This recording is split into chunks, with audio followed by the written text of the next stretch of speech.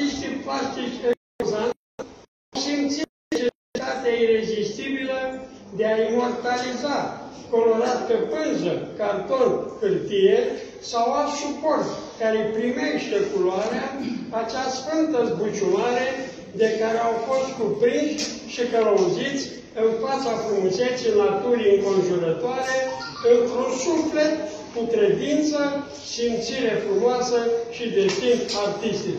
O frază la care de 2-3 ani muncesc, Da, da, da, n-ai am cam citit-o mereu. Și vreți să o aplaudați. Aflat în fața dumneavoastră, stimat public, artiști Da. plastici și iubitori de artă și frumuseți, am o mare și fericită stare de grație. Asta rămâne din toate timpurile și pentru totdeauna drept importantului loc de vindecare miraculoasă, atât pentru artiștii creatori, cât și pentru publicul iubitor de artă, frumuseți, credință, respect reciproc, apreciere umană dezinteresată. Artiștii sunt modeli și rezumat al Universului, înzestrați de Dumnezeu ca om cu demnitate și mărăție. Așa consideră subcernatul Cojocarul Mergil Cove, membru UAPR, UJPR, vicepreședinte Ligii Navale cu probleme culturale, filiala București. Cunoașterea de sine este începutul și temelia oricărei cunoașteri. Așa am ajuns să cunosc un colectiv iubitor de artă și în puncte cu pictorița Alexandrina Dinu. Așa aplaudă. Bravo! Toate meritele domniei sale.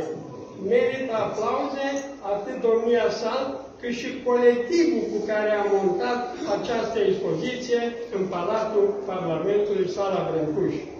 Mulțumesc, doamnă Didi, că insistați. Mulțumesc Bunului Dumnezeu că suntem contemporani. Prin dumneavoastră, sarcile mele ca vicepreședinte sunt realizări super. Vă mulțumesc încă o dată și din nou vă rog să aplaudăm. Este și ziua doamnei Alexandrina Dinu astăzi. Participăm azi 12 iulie 24.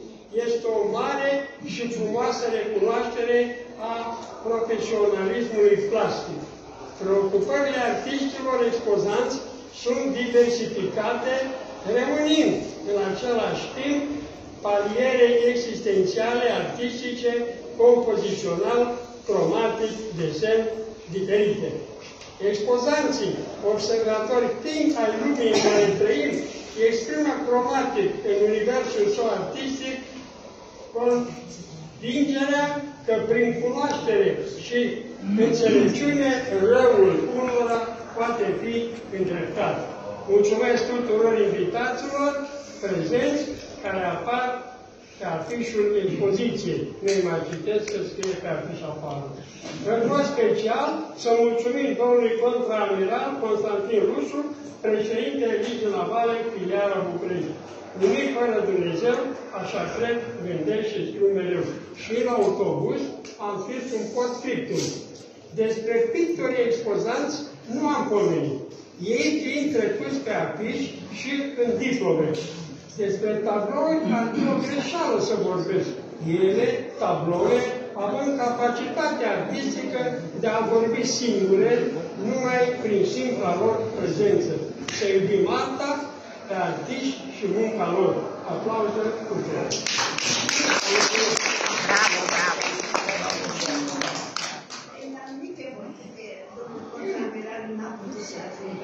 Și avem reprezentanți aici. Colegul meu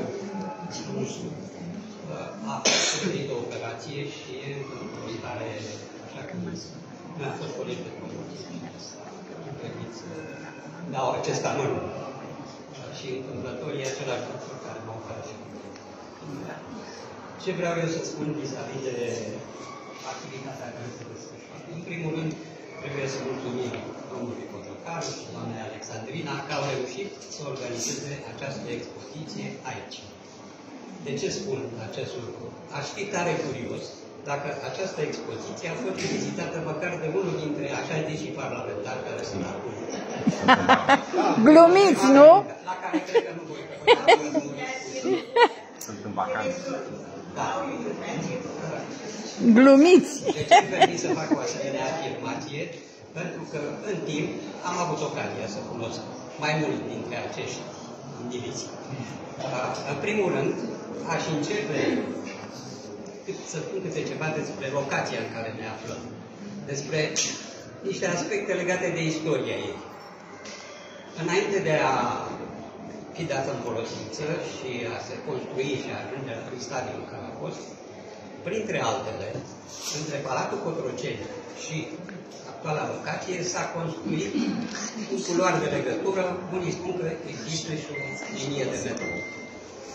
De ce spun acest lucru? Eu timp de 15 ani și jumătate am lucrat în Academia Militară, am fost și cadru didactic acolo, uh, aici în București, în fața intrării din Panduri, în perioada când se construia, a existat o chestie unde, prin care se transmiteau tone întregi de beton pentru construcția acestei.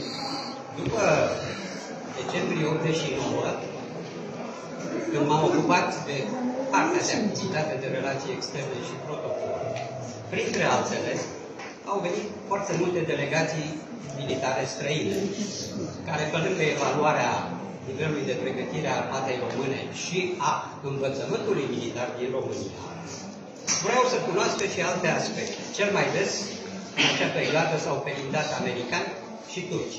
Dar în 1981, printre altele, a venit și o delegație din Ungaria, formată în deoseb din ofițeri geniști și care vreau neapărat să-i aduc aici, să viziteze inclusiv subsolul acestei clădiri. Iar cei care i-am adus, de asemenea, dintr-o delegație formată din cadre didactice din Academiile Militare din Statele Unite, uh, ei s-au limitat doar să viziteze partea de suprafață. Încă nu era dată în folosință. Dar mai există un aspect uh, legat de această clădire. Dacă vă aduceți aminte, prin anii 91-92, în viața politică a României, se manifestau și așa și așa se zice, lupi tineri liberali. În frunte cu un nume care i-ar fi cunoscut, numit Tăricea. Ce ziceau acești lupi tineri? Ca această clădire să fie dărâmată. Da? Ferească Dumnezeu. Asta vreau atunci. Ziceau că este o clădire megalomanică și că este creația lui Cea- Ceaușescu. Ceea ce după aceea au beneficiat de această clădire suficient de mult. Uh, Practic, ce pot să spun despre vernisajul de astăzi? Eu am mai scris ceva vis-a-vis de numeroasele manifestări de acest gen în cursul anului trecut, când uh, s-au împlinit 95 de ani de la apariția acestei organizații numită Liga Navală Română, respectiv pe 8 martie 1928, anul de creație a acestei instituții, care și-a încetat activitatea după război, după al doilea război mondial, și întâmplător sau nu, dintr-un coleg de la Academie, de la Catedra de Marină, eu era la filozofie.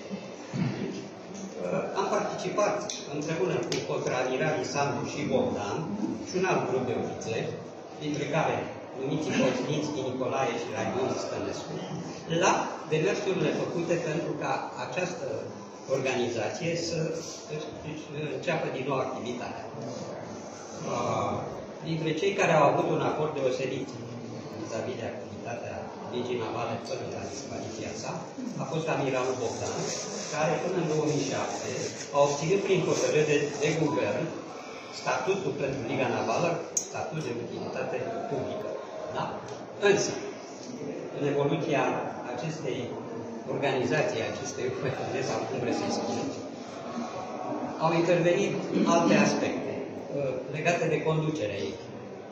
Începând cu anul 2010, întâmplător sau nu, la conducerea ligii este și acum președinte, fiul numitului Băsescu Traian, și care, din păcate, din păcate spun, nu prea a fost interesat să dea o anumită imagine ligii. Dintre acțiunile ligii care au avut și un final, să spunem, deosebit, a fost cel legat de reînființarea uh, Liceului Militar de Marină de la Constanța. Dar nu este meritul celui numit Ironescu, ci a unui contraamiral pe care când eram noi în școală la Constanța, uh, Ștefan Nicolae se numea, atunci și contraamiral, uh, la noi ziceam clubul, așa ca română, uh, a lucrat și la școala de maestri, a lucrat și la liceul de marină, uh, până în 1994, când a ieșit la pensie, iar începând cu 2017, prin demersurile făcute și la nivelul Inspectoratului Județean de Învățământ și la nivelul Ministerului Învățământului, dar și la Ministerul Apărării, s-a reînființat Liceul Militar de Marină la Constanța. Da. Dar tot așa, ca un mic amănunt. În 2018, de ziua Marinei, la Constanța, cel care era ministrul apărării, numit FIFOR, a luat cuvântul, a pomenit de reînființarea acestui liceu, dar nu a pomenit nimic pe Liga Navală. Pentru că domnul Mironescu nu îndrăznește să-i contrazică sau să-i determine pe cei din conducerea Ministerului Transportului și conducerea Ministerului Apărării să dea o anumită recunoaștere activității noastre. La ora actuală, ascultați că am făcut această incursiune, la ora actuală imaginea ligii, practic, este păstrată tocmai prin, prin prezența la nivelul filialei București a formațiunii numită Clotilda Albasă. Meritul este încă o dată subliniat al domnului Cojocaru, dar întâmplător, ca inclusiv pe un coleg de atunci de catedră, și al doamnei Alexandrina. Și chiar mă bucur că ați reușit să organizați această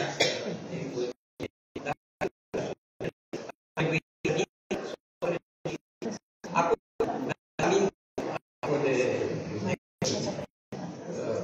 la catedră, am primit multe semnări la vremea aceea. Și vrând nevrând a trebuit să mă documentez vis-a-vis de relația dintre mentalul conștient și un, un specialist sau un uh, autor american, Joseph Murphy, a scris și o carte, Puterea extraordinară a subconștientului.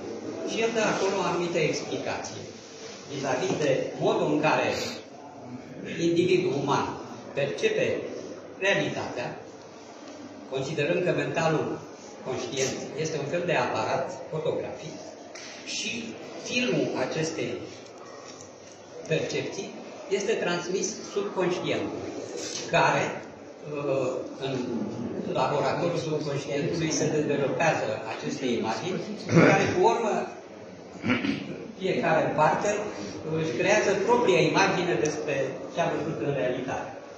Acum, vis-a-vis -vis de uh, aceste tablouri, deci cei care pictează au astfel de explicații, să zicem, în modul în care percep realitatea și, pe urmă, mai ales marea, apa și alte aspecte din realitate de transpun vaporul.